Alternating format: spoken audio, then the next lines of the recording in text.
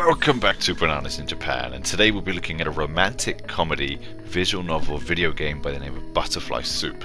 This was developed in 2017 by Brianna Lei, based on her life experiences growing up, and was released on Linux, Mac, and Windows. It was even named Best Visual Novel of the Year by PC Gamer. Visual novels are relatively easy to make and they require little in the way of a budget, but are limited in how they can connect to the audience. These types of games need to have either one of two things to appeal to the player, a specific genre that appeals to that type of fan, or a great story to keep the general gamers reading. The latter is far from easy, but this game manages to achieve it as well as having a great soundtrack. This game follows four Asian Americans through the first year of high school and focuses mostly on two gay characters, Diya and Minseo, and the relationship between them and their two friends.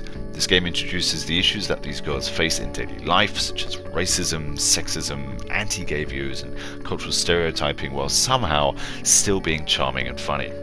Despite the very specific situation and issues that these girls are facing, the well written story and fleshed out characters make them relatable and empathizable. The story is contemporary, skillfully balanced, and is quite short.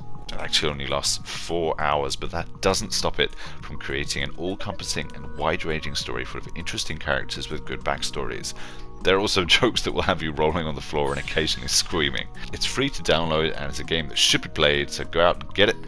Let us know what you think in the comments below.